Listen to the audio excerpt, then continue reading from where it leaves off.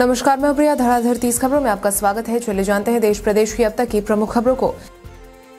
India post payment bank के खाता धारकों को एक लिमिट से कैश निकालने और जमा करने पर चार्ज देना होगा। इंडिया पोस्ट पेमेंट बैंक में यह नियम एक जनवरी से लागू हो जाएगा। इंडिया पोस्ट पेमेंट्स बैंक में तीन तरह के सेविंग अकाउंट खोले जाते हैं। बैंक में और भी कई सुविधाएँ दी जाती हैं। इंडिया पोस्ट पेमेंट बैंक की तरफ़ से दी गई जानकारी के मुताबिक बेसिक सेविंग अकाउंट से हर महीने चार बार कैश निकालना फ्री होगा, लेकिन इसके बाद ग्राहकों को हर निकासी पर कम से कम पच्चीस रुपए का भुगतान करना होगा।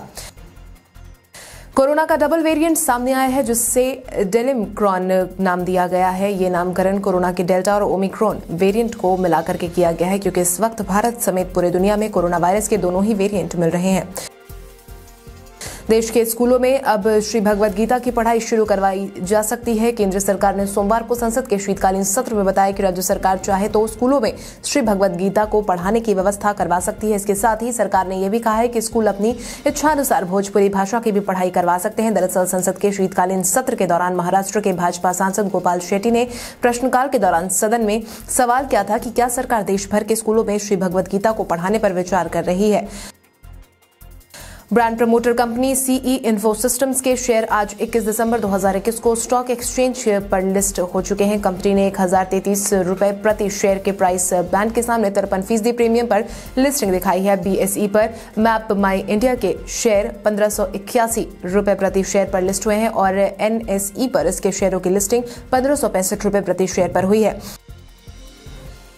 रूस से पहली एस 400 मिसाइल सिस्टम की पहली रेजिमेंट भारत पहुँच गई है। दस दिन बाद शुरू हो रहे इस नए साल 2022 में। इसकी तैनाती देश के उत्तरी क्षेत्र में करने की संभावना है, जहाँ से ये चीन के साथ पाकिस्तान की तरफ़ से भी किसी भी तरह का हवाई हमला रोक कर देश की सुरक्षा कर सकेगी। एस 400 की दूसरी रेजिमेंट के अगले साल जून 2022 तक भारत पहुँचने की उम्मीद है। प्रधानमंत्री नरेंद्र मोदी ने प्रयागराज में आयोजित महिला सशक्तिकरण सम्मेलन में एक हज़ार करोड़ रुपए की राशि स्वयं सहायता समूह के बैंक खाते में ट्रांसफ़र की है और 202 टेक होम राशन प्लांट का भी शिलान्यास किया है। प्रधानमंत्री ने कन्या सुमंगल योजना के तहत भी एक लाख से अधिक लाभार्थियों को 20 करोड़ रुपए से अधिक की धनराशि ट्रांसफ़र की है। इस दौरान उन्होंने कहा कि प्रयागराज हज़ारों सालों से हमारी मातृशक्ति की प्रतीक माँ गंगा यमुना सरस्वती के संगम की धरती रही है।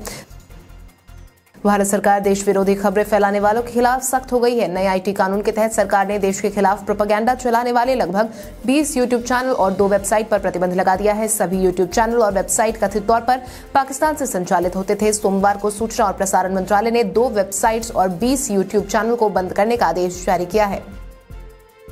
जातीय जनगणना से लेकर बिहार को विशेष राज्य के दर्जे को लेकर भाजपा और जदयू में बढ़ती जा रही तलखी के बीच नीतीश कुमार की पार्टी के एक सांसद ने बड़ा बयान जारी कर दिया है। जदयू सांसद ने कहा है कि नीतीश कुमार भाजपा से गठबंधन तोड़ने का फैसला ले, पूरी पार्टी उनके साथ खड़ी है। जदयू सांसद ने कहा है कि नीतीश कुमार जिन मुद्दों को उठा रहे हैं, भाजपा उसे खारिज कर दे रही है। ऐसे में नीतीश कुमार को समझौता नहीं करना चाहिए।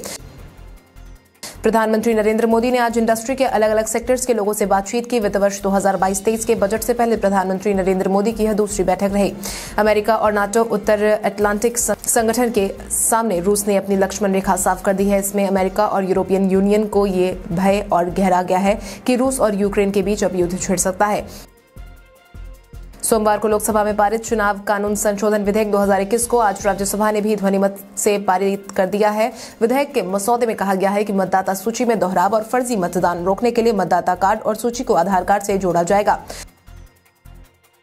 पंजाब में विधानसभा चुनाव से ठीक पहले कांग्रेस को बड़ा झटका लगा है। कांग्रेस के विधायक राणा गुरमीत सिंह सोढ़ी ने पार्टी से इस्तीफा दे दिया है। इसके साथ ही पंजाब के पूर्व मुख्यमंत्री कैप्टन अमरिंदर सिंह के करीबी और पूर्व कैबिनेट मंत्री राणा गुरमीत सोढ़ी ने दिल्ली में भारतीय जनता पार्टी का दामन थाम लिया है। राणा गुरमीत सिंह सोढ़ी गुरु हर सहाय विधानसभा क्षेत्र से विधायक है। कैप्टन अमरिंदर सिंह के कार्यकाल में गुरमीत सिंह राणा को कैबिनेट मंत्री का दर्जा हासिल था। कोरोना के नए वेरिएंट ओमिक्रॉन के मामले बढ़ रहे हैं। स्वास्थ्य मंत्रालय की तरफ़ से मंगलवार सुबह जारी किए गए आंकड़ों के अनुसार पिछले 24 घंटे में पाँच नए कोरोना केस सामने आए और पाँच कोरोना एक्टिव संक्रमितों की जान चली गई है। वहीं भारत में अब तक ओमिक्रॉन के कुल 200 मामले आए हैं। कोरोना महामारी की शुरुआत से लेकर के अब तक कुल तीन करोड़ सैंतालीस लाख बावन हज़ार लोग संक्रमित हुए हैं। भारतीय रुपए के दिन अच्छे नहीं चल रहे हैं। रुपया 2021 को एशिया की सबसे खराब प्रदर्शन करने वाली मुद्रा के रूप में खत्म करेगा। ये साल रुपए के लिए कठिन रहा है। दरअसल विदेशी फंड देश के शेयरों से पैसा निकाल रहे हैं, जिसका रुपए पर नेगेटिव असर पड़ रहा है। अक्टूबर, दिसंबर, तिमाही में भारतीय मुद्रा में दो दशमलव दो फ़ीसदी की गिरावट आई है, क्योंकि वैश्विक फंडों ने देश के शेयर बाज़ार से चार अरब डॉलर निकाले हैं। देश के सबसे बड़े सार्वजनिक क्षेत्र के बैंक भारतीय स्टेट बैंक ने जेएसडब्ल्यू ग्रुप की सब्सिडरी कंपनी जेएसडब्ल्यू सीमेंट में 100 करोड़ रुपए का निवेश किया है। सीमेंट बनाने वाली कंपनी के बयान के अनुसार, इन सीसीपीएस को कंपनी की कॉमन इक्विटी में बदलने को उसके भविष्य के बिज़नेस परफॉर्मेंस और वैल्यूएशन से जोड़ा जाएगा, जो अगले 12 से 18 महीनों में कंपनी के प्रस्तावित आईपीओ के समय निर्धारित किया जाएगा। पहाड़ों में हो रही बर्फबारी के बाद मैदानी इलाकों में भी ठंड का प्रकोप बढ़ गया है। राजस्थान के कुछ इलाकों में पारा माइनस में पहुँच गया है। वहीं माउंट आबू में बर्फ़ जमने की तस्वीर देखी गई है। मौसम विभाग के मुताबिक अगले पाँच दिनों तक मैदानी इलाके में कम कपाने वाली ठंड पड़ सकती है। विभाग ने इसको लेकर अलर्ट जारी कर दिया है। बैंक में नौकरी की तैयारी कर रहे युवाओं के लिए एक शानदार मौका है। सरस्वत सहकारी बैंक लिमिटेड ने जूनियर ऑफिसर पदों के लिए बंपर नौकरी के लिए आवेदन आमंत्रित किए हैं। जारी अधिसूचना, सरस्वत सहकारी बैंक लिमिटेड ने मुंबई और पुणे में अपनी शाखाओं के लिए विपणन और संचालन में कनिष्ठ अधिकारियों की आवश्यकता बताई है।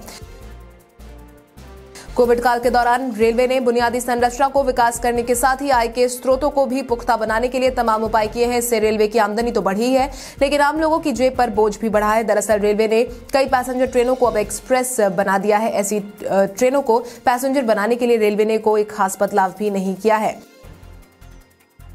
कबीर खान की फ़िल्म तिरासी अब बहुत जल्द सिनेमाघरों में रिलीज़ होने वाली है। वहीं फ़िल्म का ट्रेलर रिलीज़ होने के बाद से लोगों में इस फ़िल्म के प्रति उत्साह काफ़ी बढ़ गया है। उन्नीस सौ तिरासी विश्व कप जीत के आसपास घूमती इस कहानी में मुख्य नायक के तौर पर रणवीर सिंह नज़र आने वाले हैं। बता दें कि करीब डेढ़ साल से इस फ़िल्म का इंतज़ार किया जा रहा है। कोरोना के अत्यधिक संक्रमण वेरिएंट ने अमेरिका में तबाही मचाना शुरू कर दिया है। टेक्सास स्टेट में ओमिक्रॉन से संक्रमित 50 वर्षीय व्यक्ति की जान भी चली गई है। स्वास्थ्य अधिकारियों का कहना है कि ओमिक्रॉन से इस राज्य में यह पहली जान गंवाने की घटना हुई है। इस शख्स ने वैक्सीन की खुराक नहीं ली थी। इसी के साथ अमेरिका के बानवे शहरों में मरीजों से आईसीयू भर चुके हैं।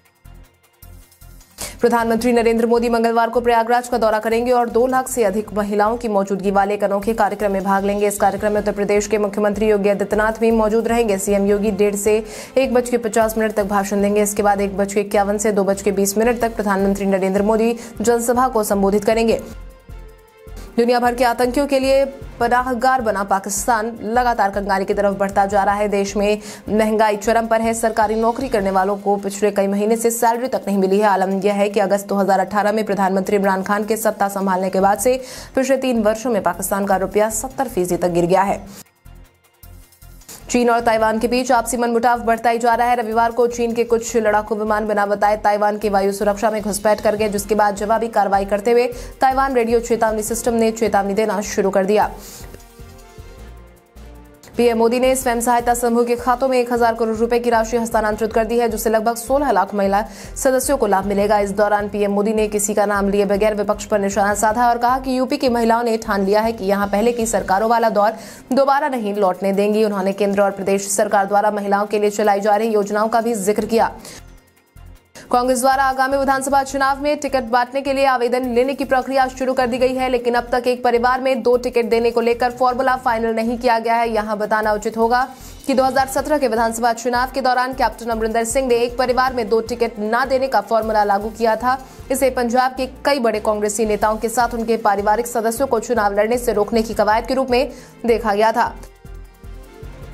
देश और दुनिया में कोरोना के नए वेरिएंट ओमिक्रॉन का खतरा बढ़ता जा रहा है। यूरोप में क्रिसमस की तैयारी चल रही है। ऐसे में यहाँ के देशों में ओमिक्रॉन के फैलने का खतरा ज़्यादा बना हुआ है। इसको देखते हुए कई देशों ने अपने यहाँ प्रतिबंधों को लागू कर दिया है। ब्रिटेन में कोरोना से बुरा हाल है। अमेरिकी राष्ट्रपति जो बाइडेन मंगलवार को कोरोना संकट पर देश को संबोधित भी करने वाले थे।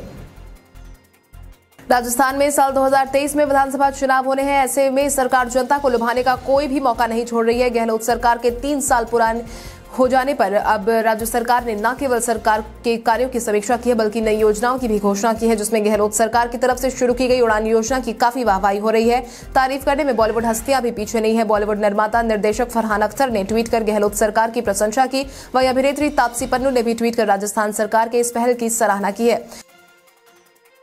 अंतर्राष्ट्रीय स्तर से मिले सकारात्मक संकेतों के बीच आज यानी कि इक्कीस दिसंबर 2021 को भारतीय शेयर बाजारों में मज़बूत शुरुआत हुई। घरेलू बाज़ार हरे निशान पर कारोबार कर रहा है। बाज़ार खुलने के बाद कुछ मिनट बाद ही सेंसेक्स 500 से ज़्यादा अंक बढ़ता देखा गया। दोपहर बारह बजे छह मिनट के बाद बॉम्बे स्टॉक एक्सचेंज का प्रमुख इंडेक्स सेंसेक्स एक अंक यानी कि एक फ़ीसदी बढ़कर छप्पन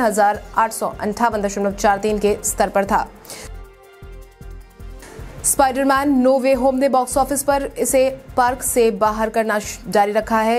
एक अभूतपूर्व रुपए इकट्ठा करने के बाद अपने शुरुआती दिन, यानी कि सभी संस्करण, अंग्रेज़ी, हिंदी, तमिल, तेलुगु में और टॉम हॉलेट और बेनेडिक्ट कम्बर बैच स्टार ने तैतीस दशमलव दो आठ करोड़ का नेट दोष शुक्रवार एक सामान्य कार्य दिवस पर समान रूप में मज़बूत संख्या में पोस्ट किया है। इसके साथ ही इक्कीस दशमलव एक चार करोड़ नेट सिर्फ़ तैतीस प्रतिशत की गिरावट जो असाधारण थी। फ़िल्म के लिए प्रचार को देखते हुए, जिसने स्पाइडरमैन नोवे होम को शुरुआत में बेहद फ्रंट लोडेड बना दिया था। उत्तर प्रदेश में आगामी होने वाले विधानसभा चुनाव को देखते हुए आज़ादी के बाद से प्रदेश के इतिहास में ऐसा पहली बार होगा जब गाँव या शहर में योगी सरकार 24 घंटे की बिजली आपूर्ति करेगी। पिछले दिनों ही योगी सरकार ने अनुपूरक बजट में इस घोषणा को धरातल पर लाने के लिए एक हज़ार करोड़ के बजट का प्रावधान किया है। योगी सरकार की योजना को पूरा करने के लिए पूरा बिजली विभाग जी जान से जुट गया है। भारतीय रुपए के दिन अच्छे नहीं चल रहे हैं। रुपया 2021 को एशिया की सबसे खराब प्रदर्शन करने वाली मुद्रा के रूप में खत्म करेगा। ये साल रुपए के लिए कठिन रहा है। दरअसल विदेशी फंड देश के शेयरों से पैसा निकाल रहे हैं, जिसका रुपए पर नेगेटिव असर पड़ रहा है। अक्टूबर, दिसंबर, तिमाही में भारतीय मुद्रा में दो दशमलव दो फ़ीसदी की गिरावट आई है, क्योंकि वैश्विक फंडों ने देश के शेयर बाज़ार से चार अरब डॉलर निकाले हैं। कल हमारे द्वारा पूछे गए सवाल का जवाब आप में से बहुत सारे यूज़र ने हमें कॉमेंट करके दिया था। उसके लिए आपका बहुत बहुत धन्यवाद। आप में से जिन यूज़र का कमेंट हमें अच्छा लगा है, उनके नाम है विनोद कुमार, मुन्ना यादव, जितेंद्र ठाकुर, नुनू कुमार, राम सगुनदास निधि चौधरी, वाल्मीकि बही, विजय कुमार रघुनाथ प्रसाद, एहसन एहसन रुपेश कुमार। इसके अलावा हमारी टीम को और भी लोगों के जवाब अच्छे लगे हैं, मगर समय के अभाव के कारण हम उनका नाम नहीं ले पाए, लेकिन आप हमारे सवालों का जवाब देते रहे। हम कल आपका नाम लेने की पूरी कोशिश करेंगे तो चलिए बढ़ते हैं आज के सवाल की और आज का सवाल कुछ इस प्रकार है। आपके अनुसार बॉलीवुड के किस अभिनेता का अभिनय आपको सबसे ज़्यादा पसंद है? अपने जवाब में कमेंट करके ज़रूर बताएँ। इसके साथ ही आज के लिए बस इतना ही। देश प्रदेश की तमाम बड़ी खबरों से जुड़े रहने के लिए हमारे यूट्यूब चैनल को सब्सक्राइब करें और बेलाइकॉन दबाना ना भूलें। धन्यवाद।